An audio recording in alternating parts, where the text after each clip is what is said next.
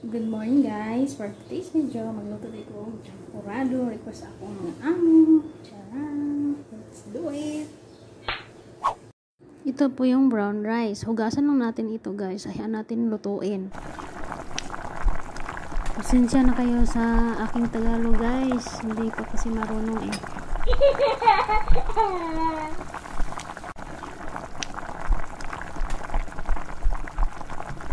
Tablia. Half lang po yung ilagay sa champurado para hindi mapait. Pareha sa inyong relasyon nga pait.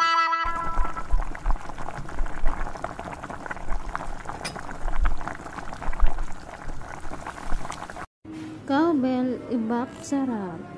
Yan po ang ilagay ko.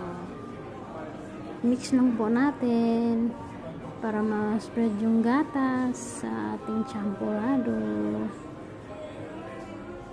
At pagkatapos nito, pwede na nating kainin. Ayan na guys, kain na po tayo. Halo-haloin po muna.